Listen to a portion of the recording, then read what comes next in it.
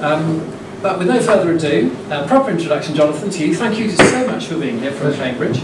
Um, and your title is uh, The Wesleyan Theological Tradition. What is Evangelical Arminianism? Over to you. Thank you very much Steve. Thank you. It's a great pleasure to be with you. Uh, I'm, I'm honoured to be invited uh, to, to give you this talk this evening. Um, as Edward says, I, I teach theological students in Cambridge. Um, I'm the Vice Principal of Wesley House, which is the uh, Methodist Theological College um, in Cambridge, and there I teach a mixture of pastoral studies and church history. I'm also um, the Methodist Church's Learning and Development Officer for Ministries in the Eastern Region uh, at the moment. Uh, so I have, I have also have a bit of a brief uh, for the training of um, local preachers and others um, around the, the six counties that make up Methodist Church's Eastern region. Um, and part of the reason that I have at the moment two job titles uh, is because Wesley House is changing. Um, Wesley House was established in uh, 1921 as the Methodist Church's um, college in Cambridge. Um, over the years, the Methodist Church has um, changed the way in which it trains ministers on a number of occasions. And the latest change was a decision made by the Methodist Conference in 2012 um, to unify all its training of ministers. So from uh, this year onwards, all those who offer for the Methodist ministry and are accepted are trained either at our theological college in uh, Birmingham, the Queen's Foundation, which of course is a, a, an ecumenical uh, establishment with the Church of England, um, either residentially there or in a non-residential program of some sort that is administered from Birmingham. Um, so the decision was made no longer to send students uh, for training at Cambridge. That left the trustees uh, of Wesley House, Cambridge, uh, with a theological college and a trust that said these, this money has been given for the theological education of Methodists within the precincts of the University of Cambridge and their students. Uh, so they have made the decision uh, significantly to remodel the premises uh, and to re-establish the college effectively as a centre for Methodist learning uh, for Methodists all over the world. Um, and this has involved a number of, of technical um, details, um, one of which um, has been that we've had to make some changes to our trustee, uh, because the trustee says this is people who've been accepted as candidates for the ministry. Uh, and what we want to welcome are those who are accepted as candidates for the ministry because um, there are some accepted candidates um, who from uh, Italy or the United States or America or South Africa or elsewhere have come to Cambridge for a year as part of their training. Uh, but also for those who are already ordained uh, and who are looking to do a research degree, uh, those who have been identified by their own church as potential theological educators, um, or lay Methodists um, who want to come to Cambridge to do some sort of course of study. Um, and in order to do that, um, the trustees had to ask themselves okay, but what is it that we're trying to say in terms that will satisfy the charitable wishes of what we're doing? And they came up with a definition that said that the resources of the college are there um, for those who are in the Wesleyan theological tradition. And defined that as being those who are members of churches which are or are eligible to be members of the World Methodist Council. Now the World Methodist Council is uh, a global body that brings together um, people from 80 different churches. Uh, some of which are Methodist churches, like the Methodist Church of Great Britain, the Methodist Church in Ireland, uh, the United Methodist Church in, in America and so on. Uh, some of them are uniting churches, so the churches where Methodism has an historic um, tradition as part of a, a, larger ecumenical grouping. Uniting Church in Australia, in Canada, uh, the churches of North and South India, for instance. And some are churches that have developed from Methodist churches, uh, so-called holiness churches, Uh, the Church of the Nazarene is probably the, the, the most famous. Um, and so the, the question uh, with which the trustees have been wrestling, and therefore will be explored over and over again, is what is it? What is it as a theological tradition that holds together all these people who might want to come to Wesley House uh, as a reflective cross-cultural community of prayer and for students and scholars in this Wesleyan tradition? And the answer that we give to that question is evangelical Arminianism. What I hope to do is to unpack for you what we mean by evangelical Arminianism. It begins, of course, through obvious places though, with something called Wesley, at least two people called Wesley. Um, and forgive me, I'm going to assume that you, you know nothing, so, so let me start right at the beginning. Um, John and Charles Wesley were two of the many children of an Anglican priest uh, called Samuel Wesley and his wife Susanna. Um, Samuel was uh, a rather eccentric, uh, not always popular um, rector in North Lincolnshire, uh, in the parish of Epworth, uh, where both John and Charles uh, were born. And as was not uncommon in those days. John and Charles both followed their father into the church. Uh, they went to, to public school and then they went on to Oxford. And it was whilst they were at Oxford, and particularly while Charles, the younger brother, was at Oxford, uh, that they established uh, something that was variously called the, the Holy Club or the Methodists. They were people who were affected by the evangelical revival that was starting in those early years of the uh, 18th century.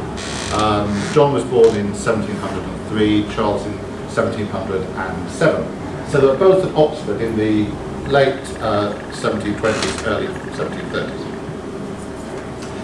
And the, affected by the evangelical revival, John and Charles and their friends decided that they should take the practice of their religion seriously. Uh, so they engaged a number of practices uh, that were not generally popular amongst Oxford students, or indeed amongst many in the church in those days. Uh, they'd fast once a week. Uh, they would have rules about the use of their money and how much they gave away. They made themselves available to visit prisoners and the sick.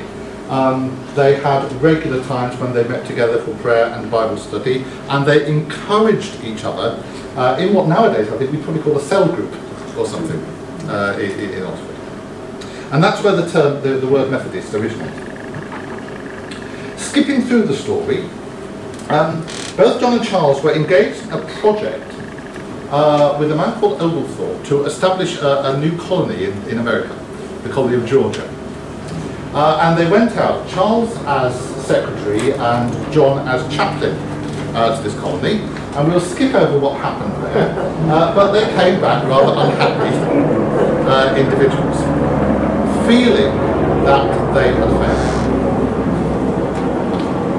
On the way out to Georgia, they had met a group of German Christians uh, from uh, a church called the Moravians, or the um, Unity of Brethren.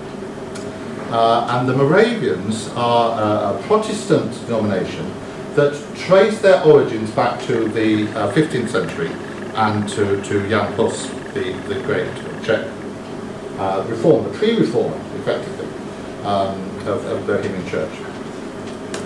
And the Moravians were part of this movement called the Evangelical, we call the Evangelical Revival, a movement that was in various places encouraging Christians to take their faith more seriously, and as a result of them taking their faith more seriously, sharing it with others. And John and Charles were immensely impressed by the Moravians. Uh, and on their return to London, they continued their association with them. And through their association with them, both uh, Charles first and then John had experiences uh, that we sometimes call their evangelical conversions. Experiences in which they felt an assurance of their own salvation and a burning desire to share the good news of their of salvation with others. As a result um, of those experiences. And as a result of their association with one of their Oxford friends, uh, a man by the name of George Whitefield, and we'll meet Whitefield again later on, um, John and then Charles became involved in open air preaching, uh, in travelling around the country, um, preaching to groups of people who effectively were sort of disenfranchised by the parish churches. Um, we're now in the mid 18th century. Um, the uh, conversion experiences took place in 1738. Just at the beginning of the agrarian revolution, uh, the population of England in the 18th century was growing rapidly. Uh, and the parish system was creaking under the strain. Large number of people were moving uh, as uh, at the beginning of mechanisation and the increased need for, for, for coal and other mineral resources were moving into new industrial sorts of established uh, uh, uh, um, communities.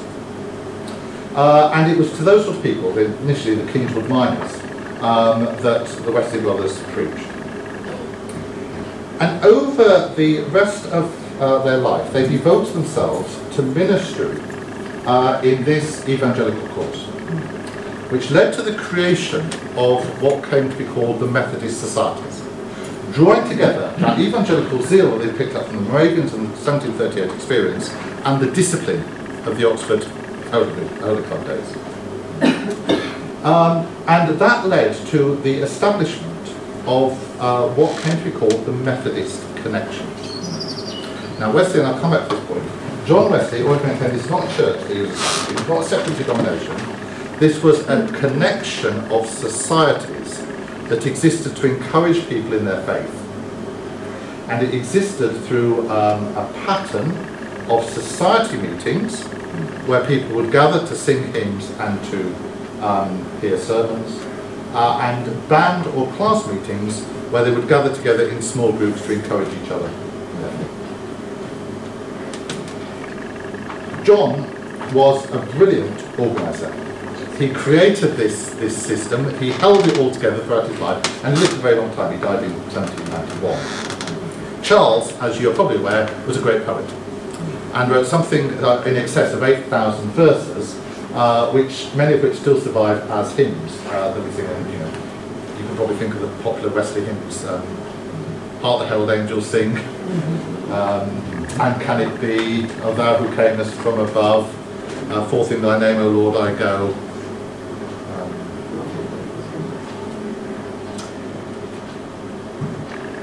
Now, this is where I, I stick my neck in. I think that what is distinctive about Methodism. And what is particularly distinctive about British Methodism owes, it is created not in the 18th century, but in the 19th century. Because three things happened in the 19th century. And the first was that Methodism came into being as a world church. Most, I mean, there are something like 80 million Methodists who in some way or other identified with the World Methodist Council around the world today. So approximately, the, the, the membership of the Methodist Church worldwide is approximately the same as the um, Anglican community. But only something like a quarter of a million of those 80 million are British Methodists in this country. Uh, the vast majority of them uh, owe their, their ecclesial heritage to the Methodist Church in the United States uh, the United Methodist Church, the largest uh, and most powerful Methodist church in the world. Uh, and the Methodist Church in the United States came to being as a result of Wesley's actions after the War of Independence. Uh, the American War of Independence, of course, saw a severing of the links of the colony with the Crown and therefore with the Church of England. And Wesley made the decision in 1784 that in order that people might be provided with what they needed spiritually in the new nation, he would ordain people for work in uh, the, what had been the American colonies, the new United States of America.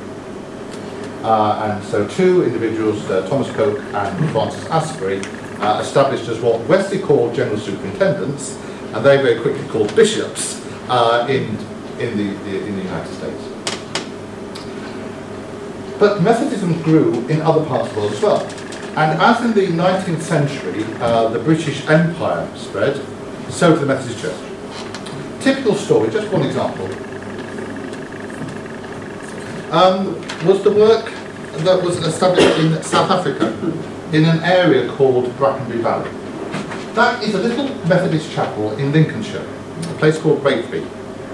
Um, we are told, I'm, I'm turned out to that Wesley himself preached there. Uh, Wesley was a great friend of the Squire of Raithby, uh, Robert Brackenbury, um, who established that chapel, built that chapel for him um, out of his stable block uh, in the uh, late 18th century. Brackenbury's widow funded missionary activity in South Africa, in a place that's now called Brackenbury Valley. Uh, and so at the, the, the bicentenary of those endeavours, uh, some of the, the Methodists from South Africa came back to uh, on pilgrimage to Raithby in Lincolnshire, and we were privileged to meet them and to get them. And there are those sort of links all over the world uh, that were established in the 19th century.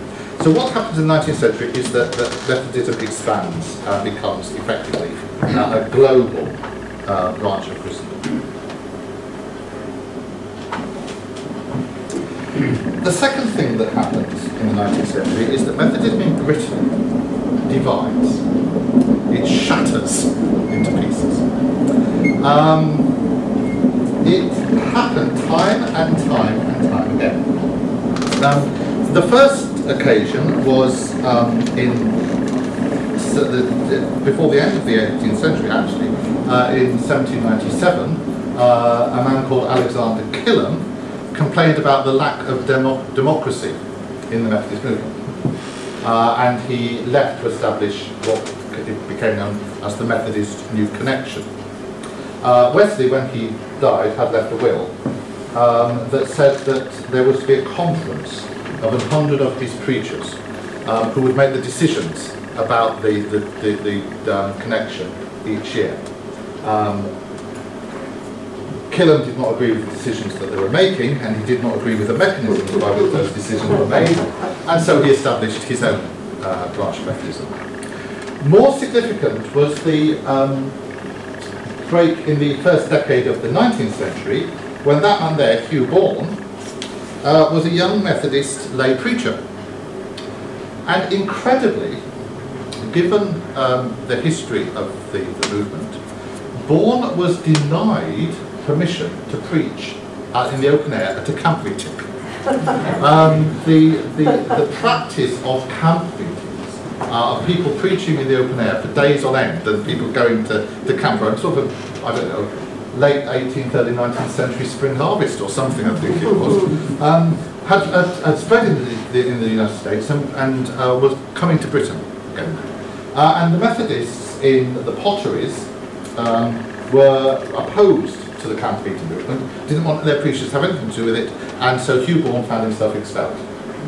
And he and an associate, William Clowes, um, said that they were the true, effectively, the, the inheritors of the Wesleyan tradition. They called themselves primitive Methodists, and, um, and, and, and the, there was the growth of another connection.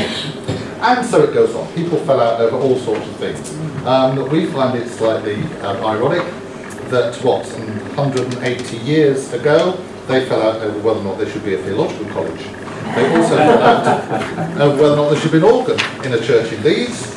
Uh, but in 1849 there was a major, major falling out. Um, the secretary of the Methodist Conference was a man called Jabez Bunting, um, who uh, acquired to himself uh, a certain amount of opprobrium. Uh, and there was opposition to Bunting, who was thought to be a dictator.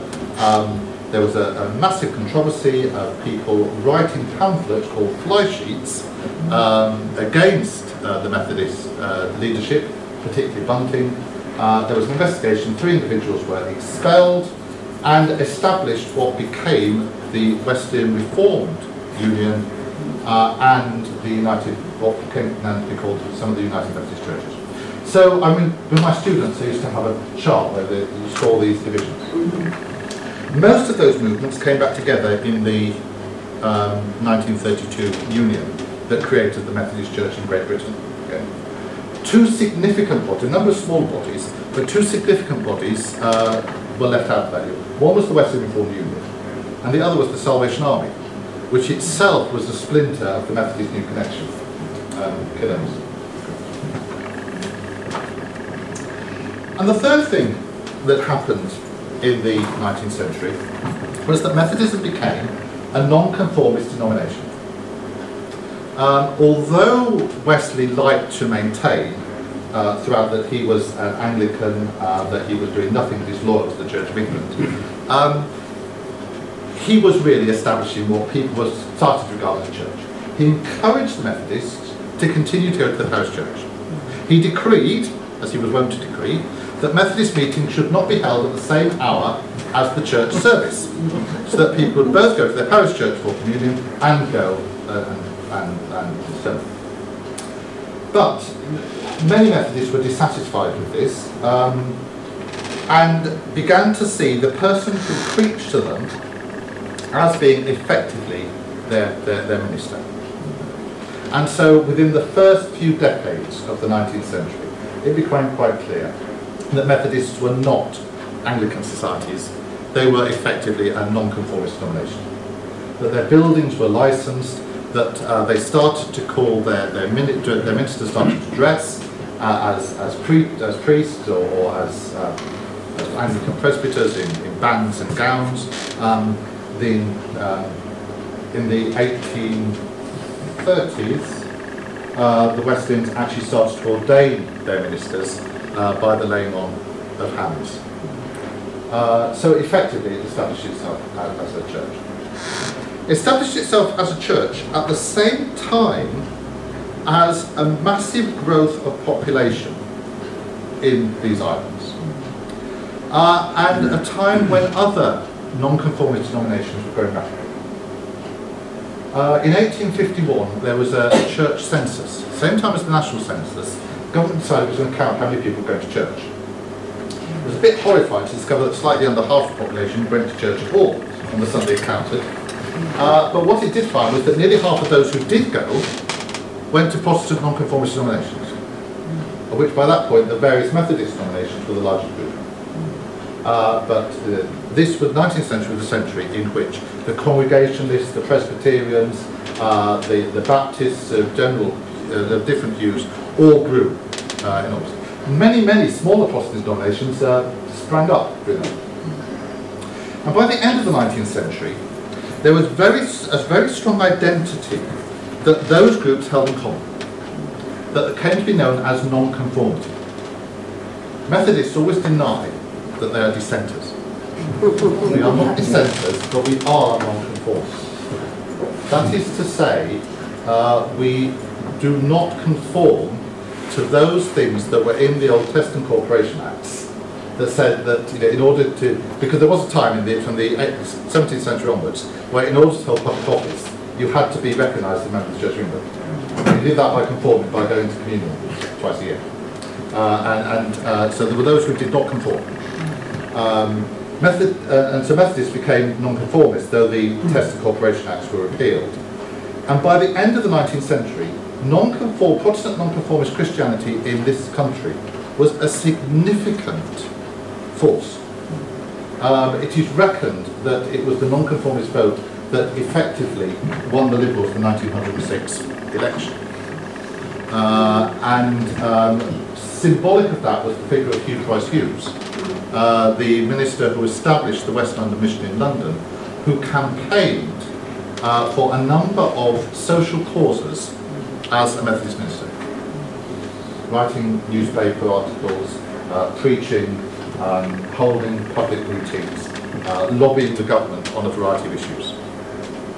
Um, the, there was the, the, famous incident when um, as Gladstone was trying to create um, a, a, solution to the Ireland problem, uh, it was discovered that the leader of the Irish MPs, uh, Charles Parnell, uh, had been having an affair. Uh, and uh, Hugh Price Hughes thundered that Parnell should resign. Uh, that what was privately unacceptable could not be politically right. and it's reckoned that was the significant voice that changed the course of affairs in those political debates. That's how, that's how influential Protestant nonconformity was at the end of the 19th century. And Methodism was the largest across nonconformist groups. And what that means is that effectively Methodists now hold together two aspects of their ecclesial tradition.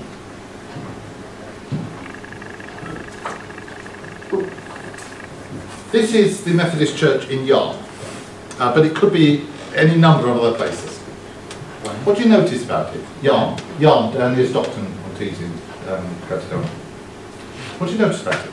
Pulpit Central. Pulpit Central. yeah? So is the Alden. Yes.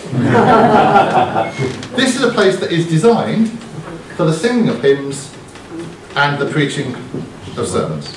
Yeah? It's designed with pews that effectively cram into as much of the available space as possible so that you can get the maximum number of people in to do that. Yeah? Uh, the communion table is that little table seated at, sitting at the bottom of the pulpit, dominated by the cross. Yeah? Now that is typical, not just of Methodist, but of other non-conformist architecture of the 19th century. Um, pretty much what, you know, I, I did my homework, what um, Paul Beasley Murray described to you, yeah, a couple of months ago when he talked about Baptist churches. The other tradition, I think, is represented by our worship book, uh, which is the collection of Methodist printed liturgies.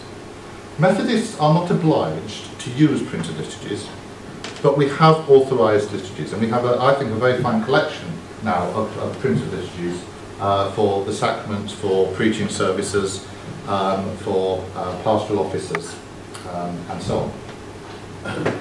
Uh, they, they're bound together with the uh, Revised Common Lectionary, in an only uh, a version that's only very slightly different from that which is used in the Church of England and in the Roman Catholic Church. Um, and represents uh, a tradition in Methodism that never lost sight of its Anglican roots. So throughout the 19th century, there were Methodist churches where the main service was Matins from the BCP. Uh, John Wesley published his own version of the Book of Common Prayer for the American Methodists um, he reduced the number of articles uh, 39 to 25. he took out the bits that he did not like, but he said that there was nothing, nothing that breathes such rational scriptural piety as the Book of Common Prayer. And I think that you understand modern Methodism in the tension between those two traditions. The one that sees its identity so many Methodists would see themselves as being not dissimilar to whatever the local chapel folk were. Yeah? Others would see themselves very much as being, uh, as it were, the separated brothers and sisters of the Church of England that couldn't cope with them in the 18th century.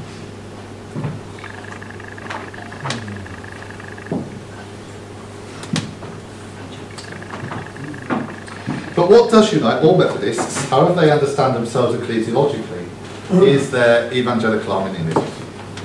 Uh, Methodists have doctrinal standards. And uh, those doctrinal standards are contained for us in uh, the Deed of Union, which was the founding document of the 1932 Methodist Church in Great Britain. The Methodist Church claims and cherishes its place in the Holy Catholic Church, which is the body of Christ.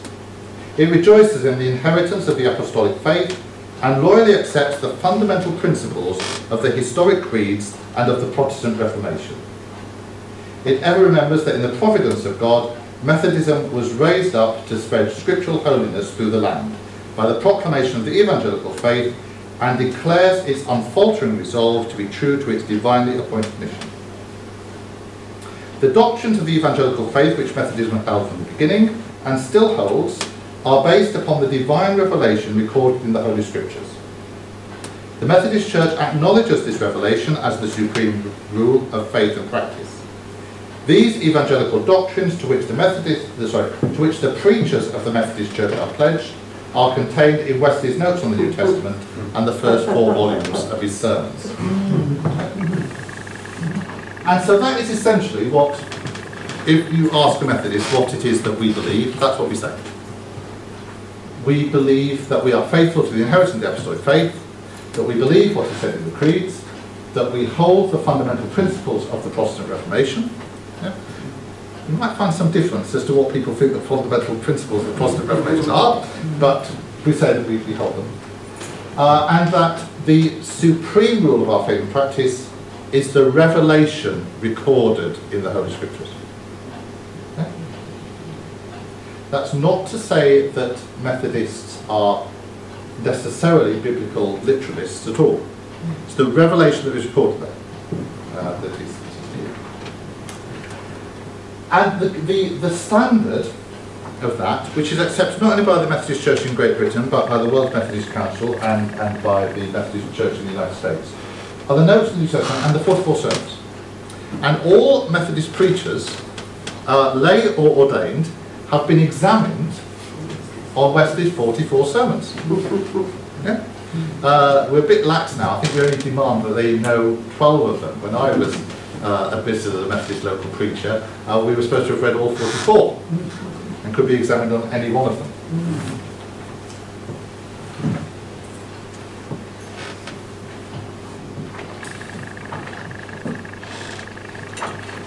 Let's break down though a little bit more what we understand by these two key terms that I keep using, evangelical and Arminian.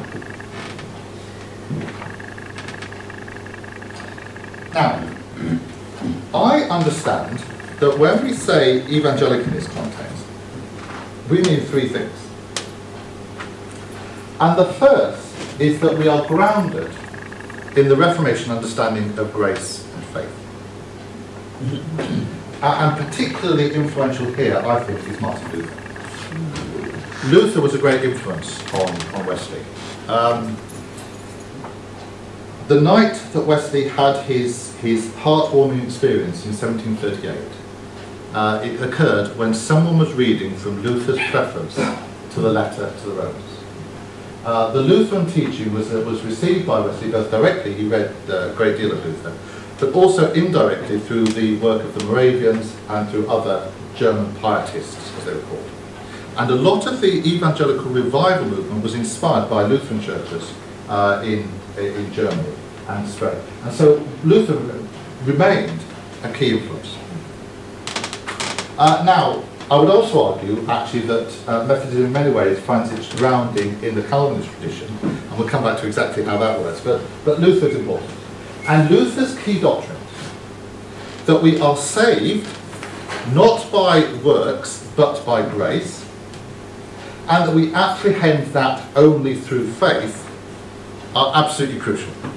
Uh, whenever I've uh, celebrated what Anglicans call uh, the commemoration of John Charles Wesley, I think on May 24th, uh, and we call Aldersgate Day or Wesley Day, um, usually most of the hymns are chosen from Charles Wesley's corpus. The one that often isn't is, is uh, Martin Luther's Out of the Depths I Cry to Thee, Lord God, only my prayer. Um, and, and it's those central, those central notions. We are saved only by grace uh, through faith. The second thing we mean by evangelical is it's a faith, it's, a, it's an understanding of theology that focuses on soteriology, that is to say, what it is means to be saved. An understanding that our salvation and the transformation that salvation makes in a person's life is absolutely essential to understanding faith. Um, you know, it, Methodism was not about, uh, the early Methodism wasn't about speculation about theology. It was about asking what difference believing the gospel made in the lives of the people who heard it. Um, and thirdly, when we talk about evangelical, we mean that it goes with a mandate to proclaim. The good news is news that should be broadcast. Um, so, so the, the, the mandate to preach the gospel, and this is what Wesley did, uh, and there he is, um, in a scene that I did wonder whether we were going to reenact on Cathedral Walls. Famously, uh, on one occasion, excluded from the pulpit uh, in Epworth, uh, to which he had returned after his father's death, preaching from his father's tomb, because he said, "This is a piece of ground for which I cannot be moved. uh, but uh, it, it's a symbol of the way in which the gospel was preached um, and, and was to be proclaimed. And so by evangelical, what I, I don't mean, I don't think quite what the way in which we use the term now, which is very much shaped by the 19th century understandings of, of evangelical. Um, I understand that when we talk about Methodists as evangelical Arminianism, we're talking about them granting the Reformation, focusing on soteriology, and emphasising the spreading of the gospel. Now, that's probably less unfamiliar to you than the next bit, which is about Arminian. Arminian actually was as much a term of abuse as a label that anybody was likely to adopt themselves, but Wesley embraced it gladly. Jacob Arminius, um, there he is. Jacob Arminius was a Calvinist, a reformed minister uh, in the late 16th century. Um, he was uh, Dutch ordained and he taught uh, in the University of Leiden. And throughout his short career, and he died before he was 50, um, throughout his short career, he was repeatedly getting into trouble for challenging Calvinist doctrine, particularly on the question of election. Calvin, you may be aware, had uncovered and uh, refined Augustine's idea of a double predestination. Uh, that God, in God's wisdom, preordained that some should be saved, but by token that others should not be saved. So those who are saved are an elect. Those who are elect for the fall. More than that, God ordained this before the fall. So God ordained the fall of Adam and the salvation of some from the damnation that was incurred by Adam's fall. Yeah? And that was effectively Calvinist orthodoxy as it was understood at the end of the 16th century. Arminius said, hang on a minute, um, God, if God is just and if God is loving, cannot condemn some before they even are brought into existence to eternal damnation. And so he, he proclaimed an understanding of, of Protestant Christianity which focused on the idea that uh, the gospel, that salvation was uh, to be understood as having a general invitation. Not that necessarily all would be saved, that all would have the opportunity to embrace God's grace through faith. Uh, and that although God may know who would and who would not, God does not preordain that that should be the case.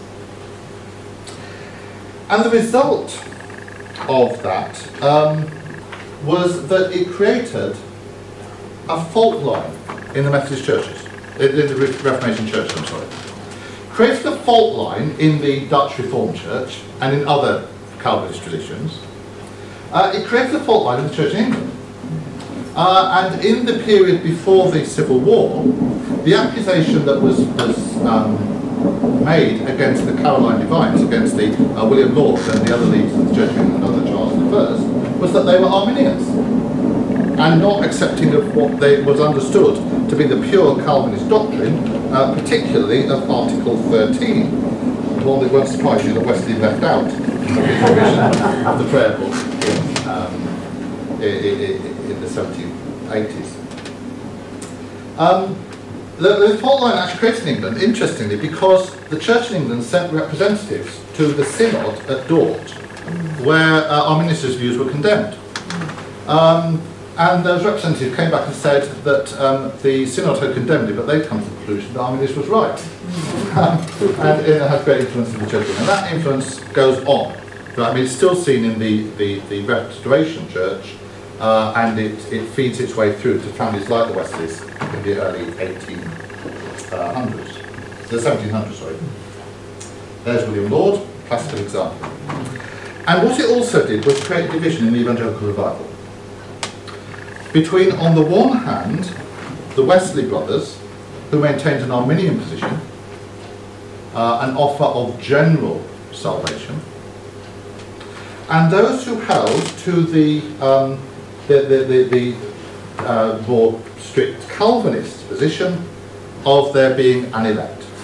And the leaders of that latter party were particularly Selina, the Countess of Huntingdon, um, who was responsible eventually for the creation of the Countess of Huntingdon's Connexion, uh, another one of the free churches of the 19th century, uh, and George Whitefield, the great preacher and friend uh, of the Wesleyans in Ireland. And Wesley and Whitefield, I mean, they, they were reconciled before the end of Whitefield's life, but there was quite a sharp division within the early Methodist movement. Um, it creates confusion in you go to Wales, there are churches that are described as being Calvinistic Methodist. Yeah? The Welsh Methodist Church followed uh, Howell Howard, Howell Harris, and another of the leaders of the uh, 18th century revival, but adopted a, a Calvinist position. And so I think we can summarise the Wesleyan theological tradition. That it's a tradition that emphasises, above all, the universality of grace. All can be saved. God's love is for all. None is excluded. It does its theology in a particular way. You remember I talked about the centrality of Scripture earlier, the Bible as, as the, the principal source of, of, of our understanding of Revelation. Uh, but the Bible is understood as being interpreted in terms uh, through uh, reason and through tradition, as indeed Richard Hooker taught, but also through experience. Uh, so there are seen as what called the Wesleyan Quadrilateral. The phrase actually was created by an, uh, a 20th century scholar by the name Albert Outler. The Wesleyan Quadrilateral, scripture, tradition, reason and experience. And we bring all four to bear as we do our theology. Tradition that emphasises scriptural holiness, that is to say the expectation that if one is a believer, it makes a difference in one's life. Uh, and that one should seek to live an holy life. And it's marked also by what is famously called a Catholic spirit. Uh, that Wesley preached a famous sermon uh, on a most unlikely text uh, from the second book of Kings. Is thine heart right with mine heart, then give me thine hand. Uh, but he used it to expand the idea that um, divisions about theology should not divide us in our love for each other or in our concern for the salvation uh, of Christ's world. So that's one way of thinking. The other way, I pinch openly from a colleague's sermon. Um,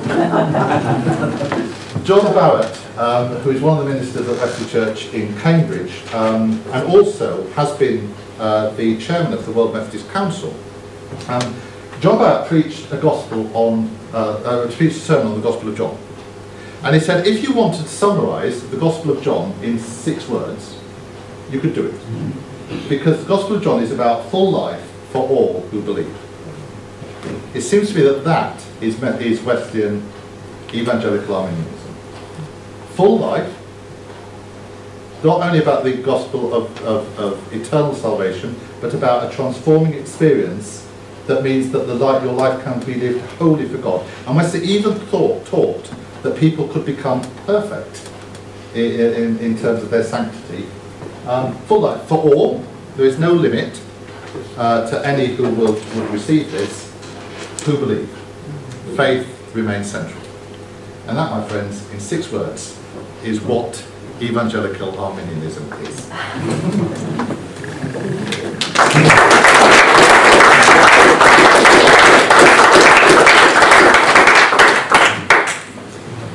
Jonathan, thank you so much. That was brilliant, wasn't it? Absolutely wonderful. Thank you.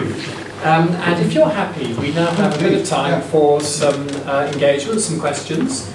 Um, and uh, certainly I've got a few things noticed here which I'll, I'll, perhaps bring to the fore in a moment. But does anyone have anything to start us off? Yes, Ian. You're so brilliant at summarising. Could you summarise perfection?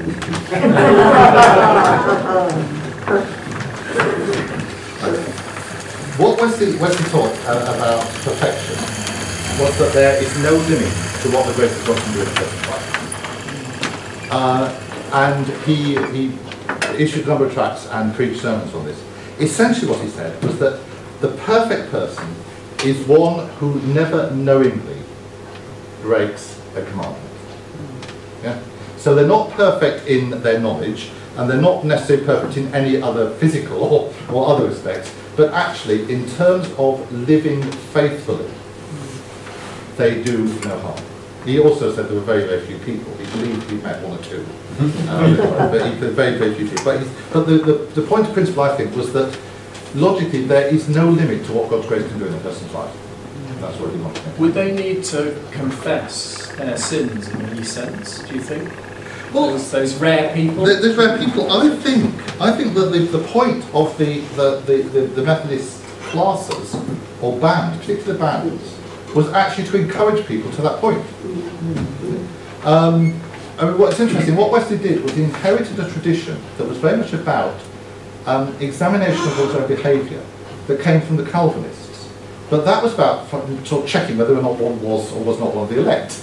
Now, because he rejected that notion, what he did was to adopt the means, but actually say this is about moving oneself and one's brothers and sisters towards uh, scriptural complete holiness, sanctification, uh, perfection.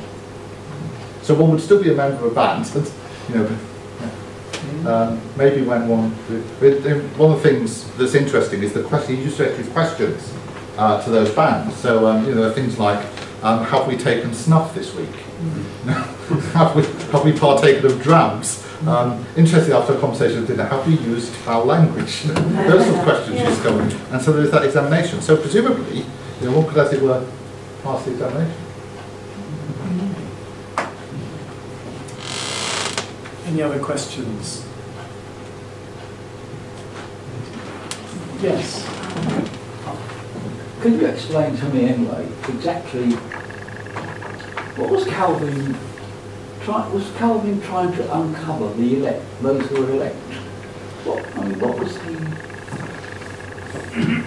well, and if he didn't uncover them, No, well, would they not be elected? Thank you. Um, I, I, I wouldn't claim to be a great expert on John Calvin at all. What Calvin's concern was the sovereignty of God. Yeah. So what Calvin wanted to do was to make it clear who God is that we are called to worship. And logically, that moves to a position where if God is, if God is God, then one thing we know for sure is that we are not like God in many respects. There's, there's something fundamentally wrong with our human condition. And the explanation of why that is cannot be that this is in any sense uh, because God has got it wrong. Because God is God and God is sovereign. Um, therefore, there is um, uh, God has foreordained that those that make what God wants to be made will be elect. Uh, it's all about the sovereignty, the sovereign will of God. Uh, now, the question I think, uh, I think we're asking is why then preach? You know, if there's an elect that already, you know, whatever we do, the answer is to do with the irresistibility of grace. Yeah? If, um, if the grace is irresistible, then it is irresistible to be preached as well as irresistible to be received. So the church still has a mandate to proclaim the gospel in order that those whom God has foreordained might hear and receive it. But I, mean, I think Calvin would agree ultimately with you, Augustine that we don't know who those are. Um,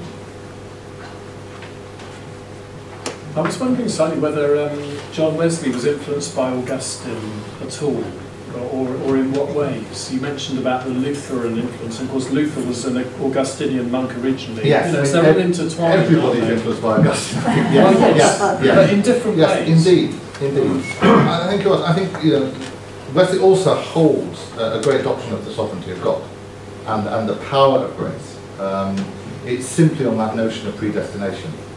I think that, that he, he, differs from Wesley. So yeah, I mean, he would help. Um, um, you know, the, the one criterion for joining the Methodist movement was a desire to flee from the wrath to come. So he holds that fundamental Augustinian notion that you know humanity is under judgment, effectively. Um, he just differs on that point of, of, of election. I'd love to ask a question uh, slightly different. Um, but you mentioned that um, Methodist churches and Methodist ministers aren't obliged to use any particular authorised liturgies, although, of course, there is the, the book, which I think I have a copy of at home, and it's very useful sometimes. Um, although, as an Anglican, that's probably illegal. in, in informal ways. Um, but um, that's something I slightly envy you actually, that, that, um, that you're not bound to use authorised liturgies, except of course you, you can use them when that's good, but, but you could stray from them in, in godly ways. Because as Anglicans, we're, we're not supposed to do that. Mm-hmm. Indeed, when we swear our oath of allegiance when we're, when we're signed in, you know, um, we, we promise to use only the authorised formularies. Yes. I'm not sure I've ever met anyone who's actually kept that promise absolutely strictly. Um, but um, but it's an interesting point. And what does I mean? I mean on, on the on the on the principle, if you had anything to say, that would be great. But actually, in terms of the practice of the church, how does that play out? What does it mean in terms of of the um, of the, the worshipping lives of, of Methodist churches? Um, I think there, are two things here. One is that um, most Methodist services are taken by people. So somewhere between two-thirds and three-quarters of most services in most circuits will be taken by local preachers or authorised worship leaders. Uh, and it tends to be the case that they do not use uh, the, the printed liturgies, that most worship will be structured in some way or other around a pattern of um, hymns or songs and prayers and readings. Uh, usually um, devised by the preacher or worship leader, but often following a pattern that, that may be accepted in that, that place. And indeed, some Methodist churches uh, will, will, will have the patterns that they have developed locally. Um, um, going alongside that, uh, it also follows that um, most Methodist churches will celebrate the Eucharist usually once a month at each of their services. Uh, so if the church has one service, then usually the Eucharist service once.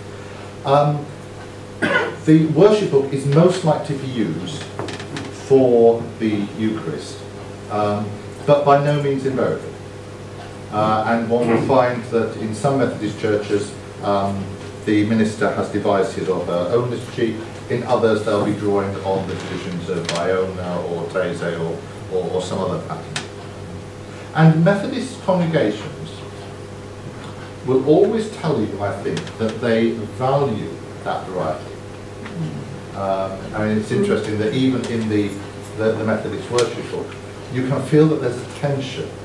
Uh, and one of the ways in which they've resolved that is by providing different services of Holy Communion for each of the seasons of the year.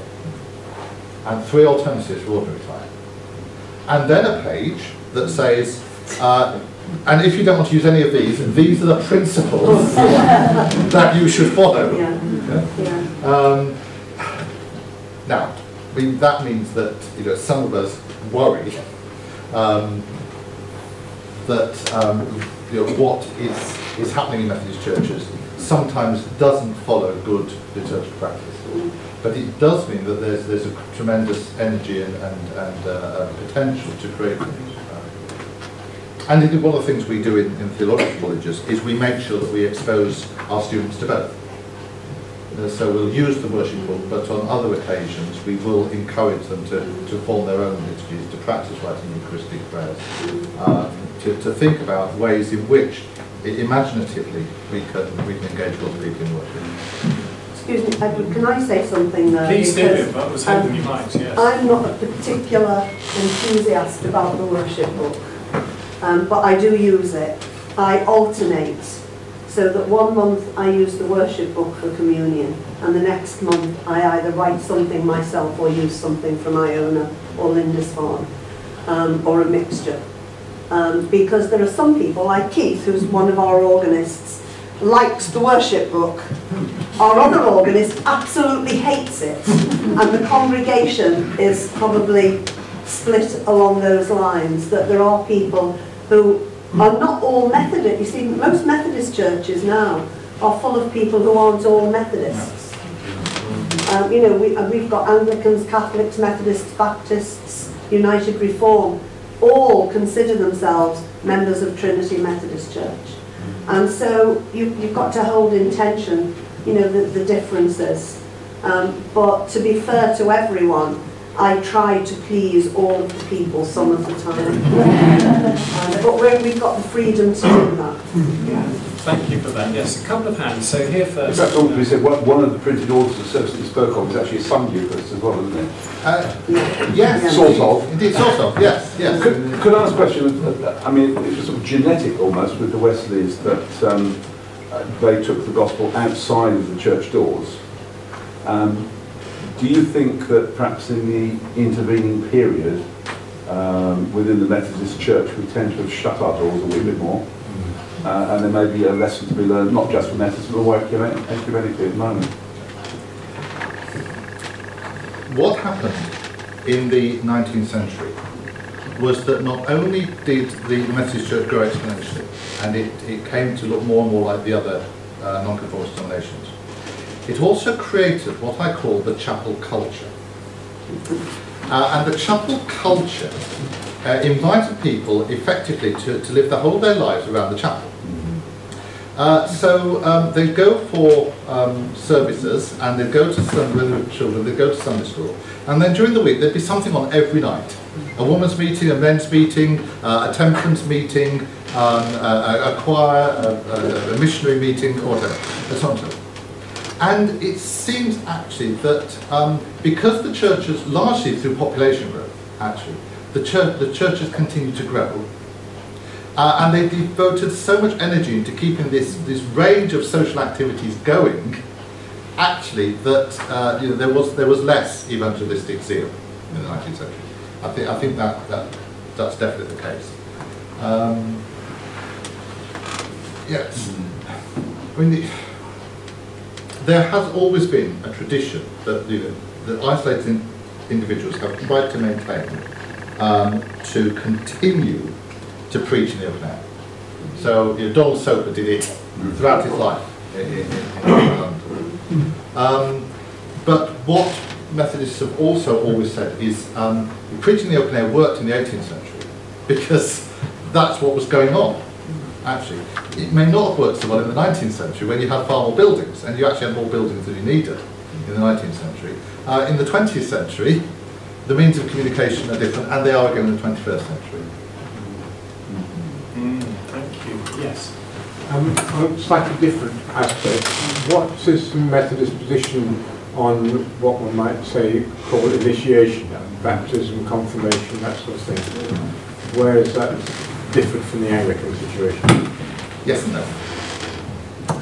Um, Methodists practice infant baptism, uh, and our policy on baptism, generally speaking, is an open one. So most Methodist ministers will welcome any child who is brought to them for baptism.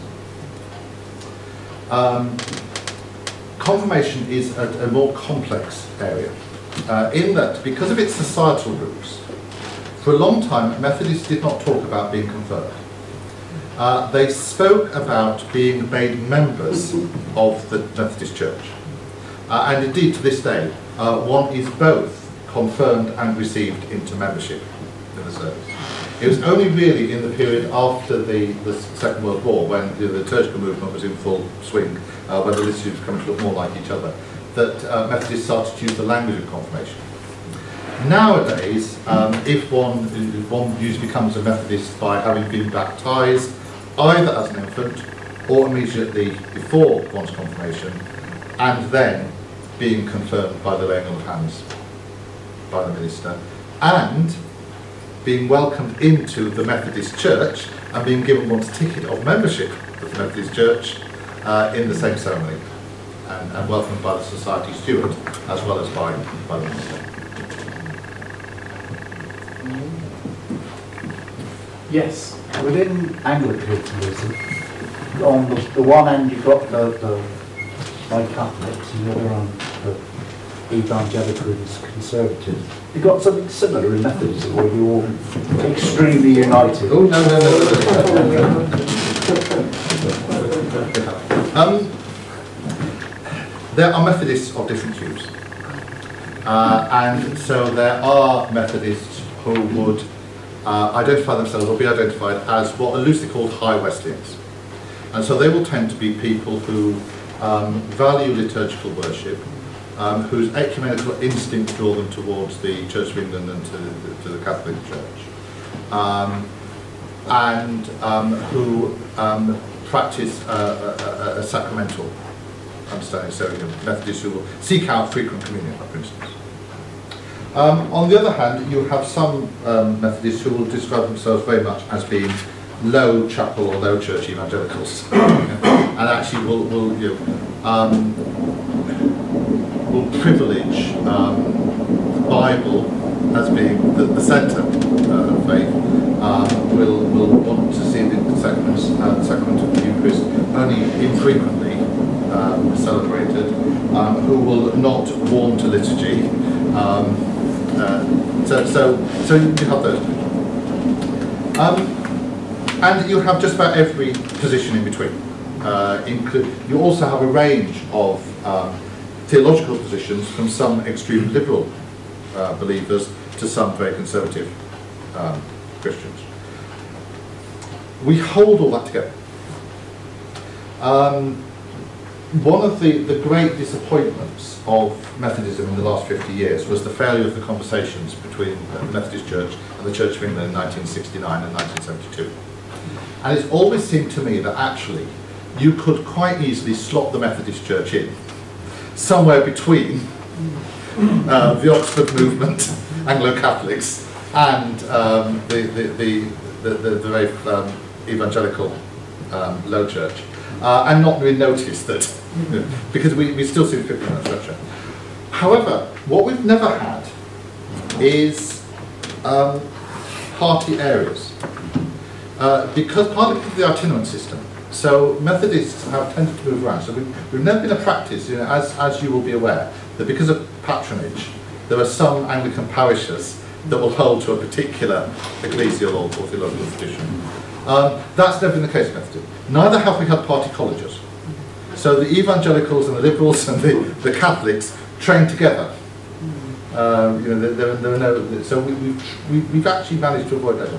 It does mean um, that there have been significant tensions on some issues. Uh, and uh, we, we, we, we can fall out with each other as much uh, about um, second baptism or, or, or um, homosexuality um, or even sort of gambling and drink as, as, others, you know, but we're not homogeneous beings. So you've been wet as. So we've got three more hands, so yes, here. Yeah. Um, you say that Wesley always considered himself to be an Anglican, and I presume that, that those people who immediately followed probably presume the same sort of thing. When was it in Methodist Church they started celebrating their own communion services and started having that sort of uh, definite Methodist idea towards it? it it was happening before Wesley died.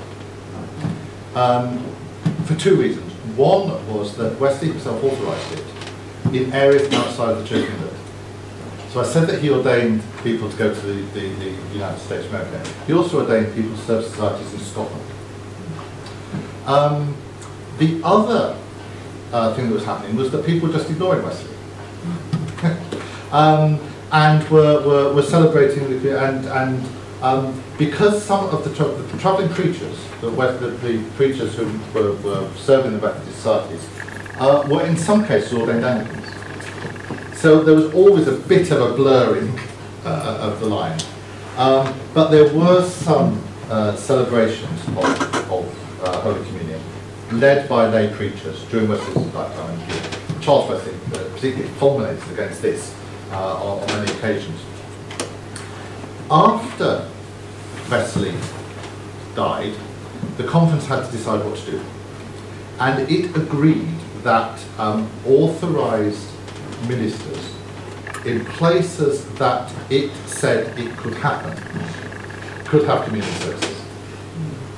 Uh, and that was the so-called plan of pacification that didn't last very long at all, um, but was an attempt to hold that together. Uh, but by the end of the 18th century, effectively, Methodist societies have become chapels. Um, The other thing that was happening wasn't only the, celebration of, of Holy Communion, it was also the licensing of them under the Toleration Act as dissenting places of worship that Wesley resisted. Uh, he also said were preaching house and therefore didn't need to be licensed in that way. But and, and some of the preachers got themselves licensed as authorised non-conformist ministers, dissenting. Um, Thank you very much for explaining Arminianism. When I was training as a, an Anglican priest, I did spend a week in Wesley College, Headingley, uh, where I first heard about Arminianism and never really quite understood it. So thank you very much for that. And um, in connection with that, the Synod at Dort was a synod of what church? Calvinist church? Yes, yes. The, the, the, it was the synod called by the leadership of the Reformed Church in the Netherlands, Right. um, but included other representatives of other Reformed churches. So it, it, it had a, a, it seems to have had a sway that was greater than the Netherlands, but effectively it was for uh, the Dutch Reformed Church. And if I may continue, um, it strikes me um, that the, the principles of Methodism that you've uh, summarised, um, the, uh, the primacy of grace and uh, the preaching of the word, the centrality of the Bible and so on, they're all things that as Anglicans we hold. But presumably, at the time Wesley was around, uh, we didn't hold them very seriously in principle. Now, but um, could you comment on that?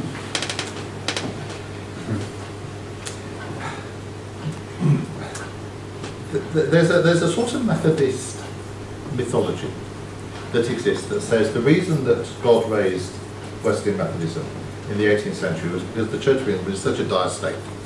Uh, and, and, and that the, the parsons were as much absentee as they were present, uh, but that um, when they were in their parishes, they were hunting as often as they were preaching. Um, and, and you could get a picture of a church that was in a pretty poor state. I don't actually think that that's really true. I think there were pockets um, where you know, there, there were abuses, clearly. Um, but uh, the Church of England was also affected by the evangelical revival. There were many Anglicans who were part of, for example, the SPCK, which was a corresponding society that was spreading the ideas of the evangelical revival. Um, some of those who identified themselves with the Methodists continued to serve as vicars or rectors in, in Anglican parishes. You know, Um, Wesley's associate, John Fletcher, was the vicar of Madeley um, in, in Shropshire.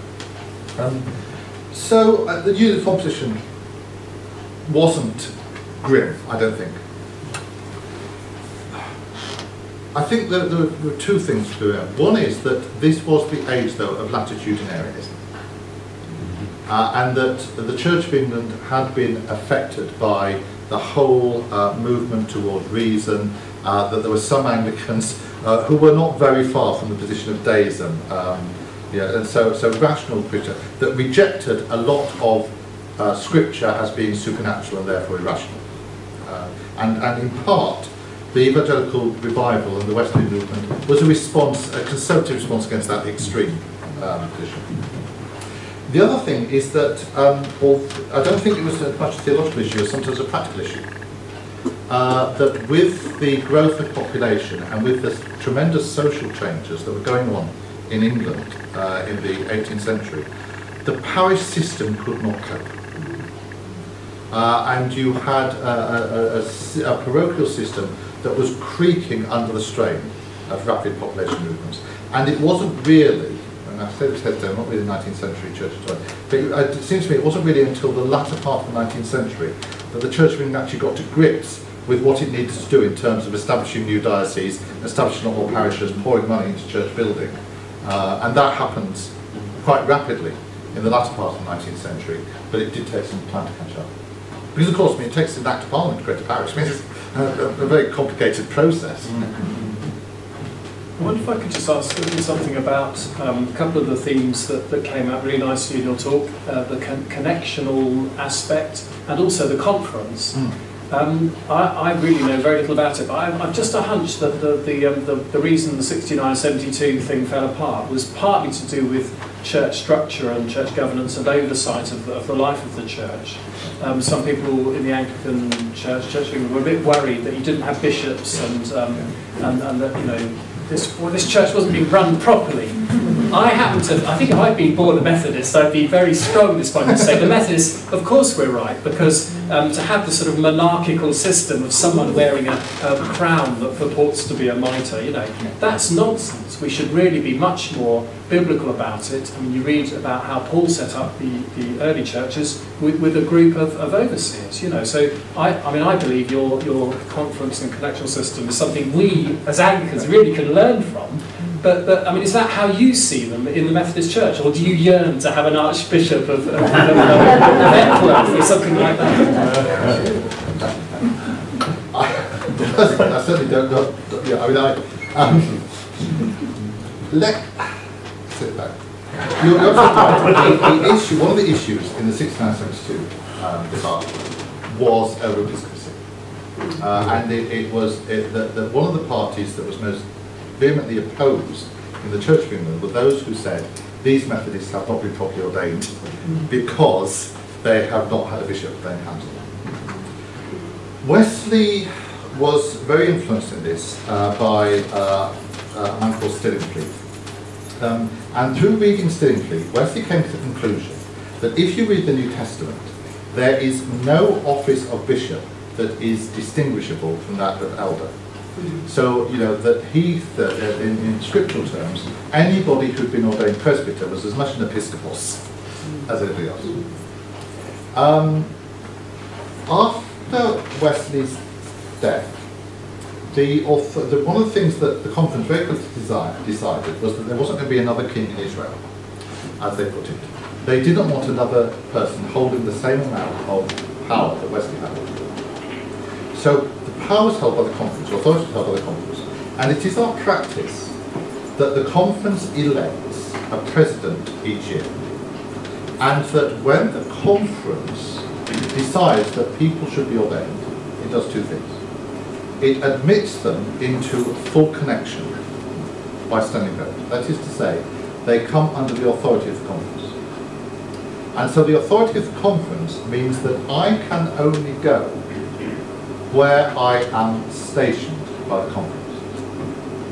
Uh, and the conference can do, as it has done, uh, and say, whatever plans you thought you were being made, we've decided that you will go to this post yeah, in September.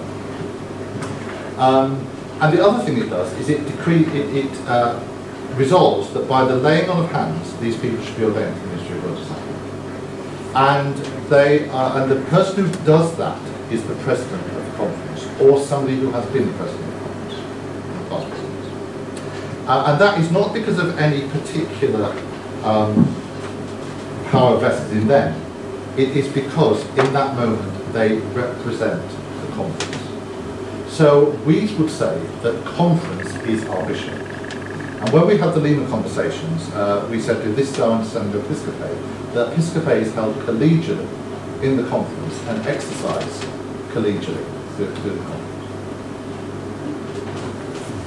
But it does mean that there's a division now within one of the tensions in Methodism is between those of us who say we could unlock the ecumenical uh, logjam if we accepted that, uh, for example, our president should be ordained by somebody in the apostolic, uh, in the historic episcopate. Yeah, that that would solve that problem. And those who say we're not having bishops, any price, and we're we're, we're, we're caught in that. Who does the laying on of hands at the like the confirmation or coming into membership of the church? Um, an ordained presbyter. Oh, so, right. so yes. Like Yeah. Sylvia, is it like Yeah. you? Yeah, yeah, Yeah. yeah. It used to be the superintendent. It was sort of historically, it tended to be the superintendent minister, but now any presbyter. Yeah. But of course, at, at, a, at an Anglican um, ordination or consecration, that those moments or confirmation, although the bishop does the main laying on of hands, actually lots of others will come forward and lay on hands as well, and that's happening more and more, which perhaps is one of the little things we're learning from, from, from you. I like to feel it is, and that's a wonderful thing, I feel, for, for us to, to learn how to do. Maybe we've time for one last comment or question. Um, John, yes. Would you taken that last point at the recent confirmation, Bishop Stephen suddenly had the uh, inspiration that everybody should stretch their hands forward. So they weren't actually laying hands on the confirmees, but they were, even from the back of the church, putting their hands forward as though they were joining him in confirmation. Yeah, yeah. Thank you for that. Well, I think that's a nice point on which to end. And um, just want to say another really warm thank you, Jonathan, ever so much, because it's been a, a, wonderful evening. We've learnt a lot, um, and uh, we've been able to discuss a great deal as well. Thank you so much for coming over.